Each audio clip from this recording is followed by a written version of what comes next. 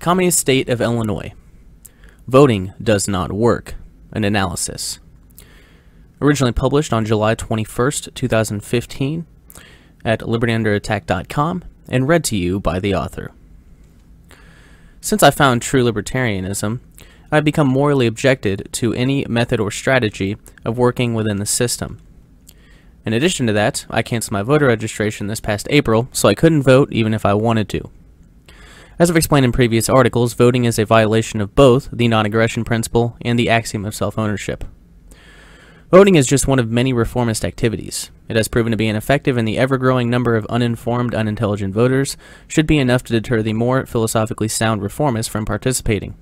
But unfortunately, those same folks attempt to use the political process to violently force their ideals and beliefs, no matter how well-intentioned, onto the rest of the citizenry. In every state, voter fraud is also an issue whether it be a minor or major one.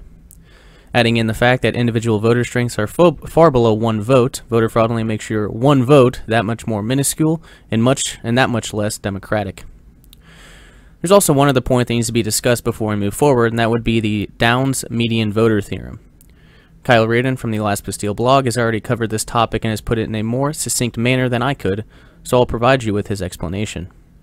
Quote, Downs median voter theorem narrows the range of options down to a set of strict binary choices that are in fact so very similar to each other as to be nearly indistinguishable in substance, even though they may seem superficially dissimilar. Any other choices that may be presented from time to time are not given equal weight as the two primary darlings are. The left-right paradigm manipulates the median voter theorem so as to artificially limit the serious political candidates to those who are beholden to the dual hegemonic political parties, end quote. The Downs median voter theorem surely assists, assists in seeing through the fog of this dualistic, false dichotic political system America is encompassed by. It also explains why third parties are hard-pressed to even have a chance of becoming the next political rulers. Now that I've laid out some of the major issues when it comes to voting, I'd like to focus strictly on the communist state of Illinois. Some people believe that I call Illinois that as a joke, and to some extent that is true, although I would rather describe it as a form of Simon gesturing. Nonetheless, I don't say it lightly. The communist state of Illinois is a multifaceted monster, and I do intend on tackling all of the various facets, but for this endeavor, I will focus on voting in Illinois. Part 1. Is this so-called democracy really democratic? First off, I think it's important to examine what democracy is objectively. Democracy at its most basic form is simply tyranny of the majority. If 51% of a nation's citizenry decide, decide that you should be hung in the streets, you can expect to be hung in the streets because the people have spoken. Additionally, democracy is simply a political buzzword with another connotation, one with much deadlier ramifications. Karl Marx, co-author of the Communist Manifesto and a revolutionary socialist, stated that, quote, democracy is the road to socialism, end quote. Vladimir Lenin, head of the USSR and communist revolutionary, shared similar sentiments. Quote, democracy is indispensable to socialism. End quote. One citizen, one vote. Not even close. One of the major misconceptions when it comes to voting is that it is the majority making these coercive, political, politically binding decisions, regardless of which of the various states we are talking about. Not only is that not the case, a voter's one vote isn't even relatively close to one vote. It would first be wise to mathematically determine what the power, the voter power is of each Illinoisan. Using the Banzhaf Power Index, we can calculate each individual's voting power in the United States using a document linked in the article as a guide, which shows the data sets necessary to perform the calculations. First thing you need to, need to determine is the population of the state, in this example Illinois. Population of Illinois is around 13 million people. Next, using the table provided in uh, the original article, you'll need to determine the electoral, col electoral college votes, which for Illinois is 21. Next, divide the electoral college votes by the total population of the state. In this case, 21 divided by 13 million. An Illinoisan's voter's share of the state's electoral votes would be 0.00001615538. The next step would be to quantitatively analyze the voting power of an individual in Illinois. No matter what state, 1 will be in the numerator and the respective state population in the denominator. In this case, the square root of 13 million will be multiplied by the Banzhaf power index 0.387. For Illinois, the equation you get is 1 divided by the square root of 13 million times 0.387. The Banzhaf power index of each voter in Illinois is roughly 0.0011. I will hedge my bets on the fact that democracy isn't so democratic, at least here in Illinois. Voter turnout percentages. The next data set to analyze is the actual voter turnout percentages. For this example, I have chosen McLean County and the city of Bloomington. For both of these variables, I gather the amount of registered voters, ballots cast, the unofficial voter turnout, population in the various years, and then the actual voter turnout when factoring in the entire population instead of just registered voters. Uh, the full Excel uh, spreadsheet is linked in the original article. What I found was not surprising, but surely unsettling. For the city of Bloomington, the data set contains every election from 1996 to, to 2015. When I average out the voter turnout percentage provided by the website that hosts their statistics, it came out to be 31.43%. The only problem with that statistic is that they are only factoring in the registered voters and the ballots cast, not the entire population of Bloomington. 31.43% of the registered voters making coercive, politically binding decisions for the rest of the citizenry is bad enough, but don't worry, it gets worse. When I took into account the entire population, the average dropped significantly down to 17.82%. Same process was used for McLean County, except they, they only make this, these statistics for 2007 to 2015 available. Using the voter turnout percentages provided by McLean County, the average voter turnout was a mere 29.33%. Again, those numbers are deceptive as they only factor in registered voters and ballots cast, not the entire population of McLean County.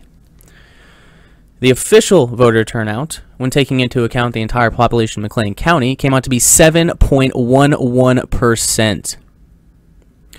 Let's summarize what has been covered so far. First off, an Illinoisans voter power index is about 0.0011, far under one vote, and far away from anything democratic. Next, in the city of Bloomington, on average, 17.82% of the population make these coercive, politically binding decisions upon the rest of the citizenry. In McLean County, it's much worse, as it is on average only 7.11%. Should be easy to realize just from what has been covered so far that voting in Illinois is a complete waste of time, and any semblance of democracy is an illusion. Although there are a couple, couple of other factors that need to be taken into account to further reiterate that point. Election fraud run amok in Chicago. If you ask any Illinoisan what they think about Chicago, you'll typically get the same response. Most acknowledge, especially if they are south of Interstate 80, that Chicago is the cesspool of politics and the amount of political corruption and voter fraud is a major concern for those who still believe in the legitimacy of the state. It's first important to explain the structure of the electoral system in Illinois. After the newly adopted Constitution in 1970, responsibility was transferred from the Secretary of State to a newly created Board of Elections. The Illinois election process is highly decentralized, and the previously mentioned State Board of Elections has limited authority over the many jurisdictions, which leads to inconsistencies and illegalities. Most jurisdictions are ran at the county level by a county clerk, but in Chicago it is operated, uh, operated under city election law, which allows cities to choose to govern their own elections independent, independently of their own county. Those details were mentioned to emphasize the fact that every county or city operates their elections in their own manner and separate from any central election authority, which has been prone to an increased level of voter fraud and overall political corruption. In a Moritz Law School, Ohio State University, 2007 publication titled From Registration to Recounts, they mention that, quote, According to news reports, in the last 25 years, some 50 separate election fraud prosecutions have occurred, many of them involving multiple offenders, end quote. One of the more egregious examples is after the 1982 gubernatorial elections. There were widespread allegations of fraud in Chicago, and there were nearly 60 convictions, and a civil grand jury concluded that 100,000 illegal ballots had been cast. Additionally, after the 1987 primary, it was discovered that between 36,000 and 52,000 votes had been cast by unregistered voters. Years later, in 2003, there was an attempt to cast 250 illegal votes in a city just outside of Chicago. There was another example of both voter fraud and political corruption when in November of 2004 in East St. Louis, a number of political, political leaders were convicted of vote buying. The major concern in most states is tampering of the digital voting machines, but in Illinois, the major major issue is absentee ballot fraud. In, the previously mentioned Moritz Law publication, they state that, quote, absentee fraud is a different issue entirely, as Illinois administrators also acknowledge. It is not a matter of whether such fraud occurs, but how often and in what magnitude, end quote.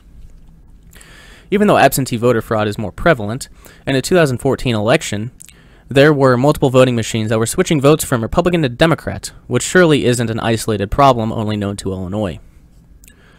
It's quite simple to tell that voter fraud in the state of Illinois is a major issue, even though the uh, major issue. Even though the election laws have become more stringent and there are more precautions, it's naive to think that the political corruption is coming to a halt anytime soon in the cesspool of politics, otherwise known as Chicago. Additionally, the Illinois uh, Voter Power Index continues to become margin marginally lower thanks to the phenomenon of voter fraud. South of I-80, your vote really doesn't matter. From what has already been covered, any Illinoisan should at least stop voting altogether, or better yet, cancel their voter registration. Especially if you live in a jurisdiction south of Interstate 80, you should cut up your voter registration in sheer anger and frustration. That is, if you still believe in the most dangerous superstition, the belief in authority. Cook, DuPage, and Will counties are a few of the most populated counties, and therefore carry the most weight when it comes to state elections. The most significant being Cook County, though home to 40.6% of Illinois residents. Cook County alone racks up 65 to 70% of votes for the Democrats. Additionally, in the 2010 gubernatorial election, Pat Quinn could have been elected even if he'd only won Cook County. In a 2011 Wall Street Journal article, Allysia Finley accurately states that, quote, Chicago polls control all, almost all seats of power in Illinois. Governor Pat Quinn, House Speaker Mike Madigan, Senate President John Cullerton, Attorney General Lisa Madigan, and Secretary of State Jesse White are all Democrats from Chicago. So was former Governor Rod Blagojevich, I call Rod Blogojevich, who this uh, who this month was sentenced to 14 years in prison for corruption, including trying to sell President Obama's vacated seat for the U.S. Senate. End quote. Illinoisans can thank the Democratic-controlled Chicago for that disparity. It's also important to mention that the majority of extortion, I mean tax dollars in Illinois, are spent in Chicago. Additionally, in the 2013 Illinois census, the population was virtually unchanged as a lot of businesses and citizens are fleeing to other states where the tax burden is much lower. In, a, in, the previously mentioned 2011 Wall Street Journal, Journal article, Finley continues, quote, In 2008, lawmakers in Springfield cobbled together a $530, $530 million rescue package for Chicago's transit system, which was on the brink of collapse because of sky-high labor and legacy costs.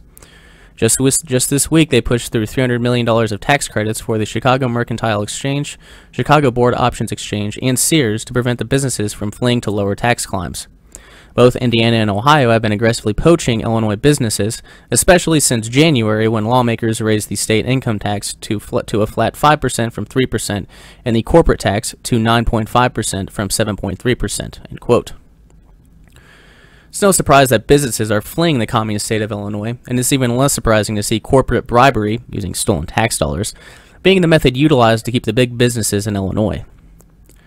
The frustration felt by, citizen, by the citizens south of I-80 has been reflected in the Illinois House of Representatives, House of Representatives as well. In 2011, Representatives Adam Brown and Bill Mitchell proposed legislation to make Chicago the 51st state. Of course, it was a massive failure, but an accurate representation of the I-80 divide. To conclude, an Illinoisans vote was already worthless, and if you're south of I-80, a voter registration card could be better used as kindling to start a fire of resentment for all things authoritarian. Let's imagine for a moment that your vote really does matter. Let's imagine that we are venturing through a magical forest, dancing with the unicorns under a rainbow, and at the end of the rainbow is Putin the leprechaun who is handing out rubles to all of the naive little voters. Let's imagine for a moment that an Illinoisan's vote really does matter. It has been emphasized heavily that Illinois has a long history of electoral corruption and voter fraud. But let's examine another angle. Most Illinoisans are well aware of the criminally tainted past involved with Chicago politics, most recent criminal politician being Aaron Schock, a former member of the House of Representatives. Outside of going through every gruesome political detail, let's simplify this experiment and take a look at the effectiveness of voting in the communist state of Illinois. Now, this list was compiled by Thrillist. William Carruthers, 1976 to 1983, a former Chicago alderman, was charged with conspiracy and extortion and was sentenced to three years in prison. Isaac Carruthers, 1999 to 2010, also a former Chicago alderman and son of William, followed in his father's footsteps and got charged with the same exact extortion charge. He was sentenced to 28 months in prison. Daniel Rostenkowski, 1959 to 1995, a former member of the, House, of the U.S. House of Representatives from Illinois, was convicted of dishing out postage stamps and adding imaginary employees to his taxpayer-funded payroll and bought himself gifts. He was sentenced to 17 months in prison. Dan Walker, 1973 to 1977, a former Illinois governor. After leaving office, Walker entered into the private sector and was convicted of fraud and was sentenced to seven years but only served 17 and a half months. Otto Kerner, 1963 to 1968, a former Illinois governor, was a fan of under-the-table deals and obtained $356,000 worth of below-market stock from a horse racetrack operator. He then rigged choice racing dates and expressway exits that funneled crowds to the track. He was sentenced to three years. Fred Roti, 1951 to 1956 as the Illinois State Senator, um, 1970 to 1993 as Chicago Alderman, was convicted of 11 counts of bribery, extortion, racketeering, and racketeering conspiracy. Roddy also served as member of the La Cosa Nostra Mafia while he was in, a, in political office. He was sentenced to four years but only served three. George Ryan, 1991 to 1999, a former Illinois Secretary of State, uh, 1999 to 2003, uh, a former Illinois governor. This one is too good, so I will uh, I will quote an article done by Thrillist in regards to Mr. Ryan. Quote, a fatal truck accident in 1994 got the ball rolling on an investigation cracking down on illegally acquired truck operators' licenses in Illinois.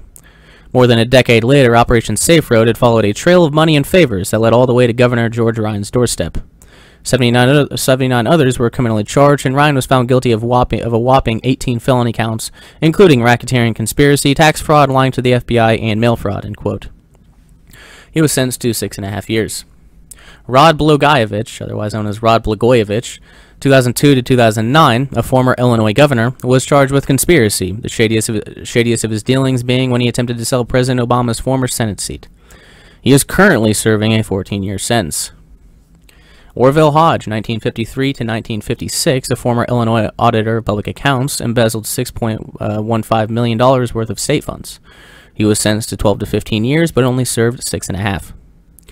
Mel Reynolds, 1993 to 1995, a former member of the U.S. House of Representatives from Illinois, was indicted for sexual assault and criminal sexual abuse after engaged in a sexual relationship with a 16-year-old girl. He was also convicted of 16 counts of bank fraud, lying to investigators from the Federal Electoral Commission, and misusing campaign funds. He got five years for the first sentence, six and a half years for the second, and President Clinton commuted his second sentence after four years. The list is incomplete, but nonetheless, many of these charges are quite egregious, and it paints a pretty clear picture. It doesn't matter if voting in Illinois matters or not. Illinoisans are still stuck with the same corrupt criminal scumbags. Conclusion as a resident of Illinois, I've been bound to Illinois in politics, whether I want to be or not. There is always a new politician facing prison time for some immoral, unethical offense. There are constant attempts to strip Illinoisans of their natural rights of self-defense, and the extortion fees, taxes, are relatively high compared to neighboring states. This article is going to uh, was going to be a more general overview of why I call this ge geographic location the communist state of Illinois, but with the vast number of topics to cover, I decided to stick to voting and make this into a series. To conclude, the voter power index of each Illinoisan is a mere 0.0011.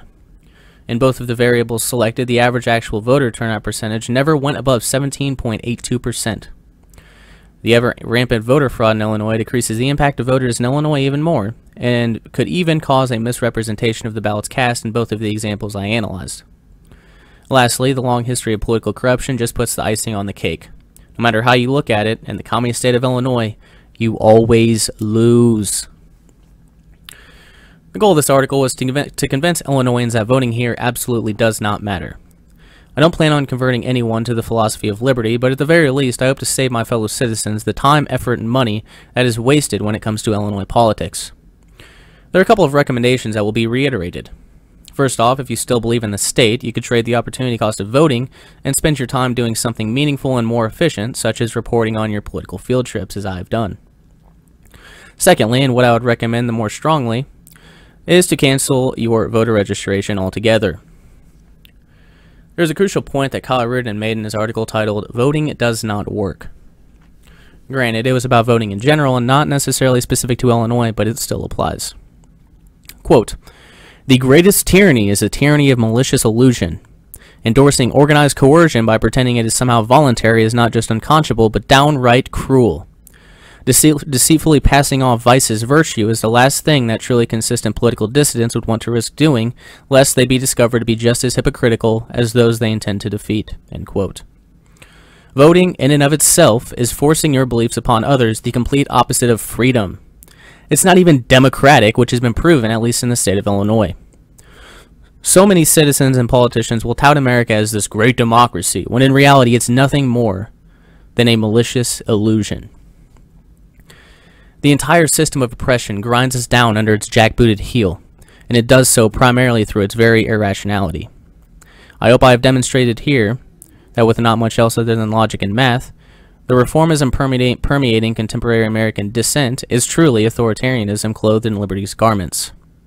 My frequent, ref frequent, re frequent references to the communist state of Illinois is to impart upon you all that tyranny is nothing to be played around with, as if it were a young, young child's toy. If you are serious about restoring liberty, then some, then some overdue maturing needs to take place about the nature of your relationship to the state. You've just heard the communist state of Illinois. Voting does not work, an analysis. Originally published on July 21st, 2015 at libertyunderattack.com and read to you by the author.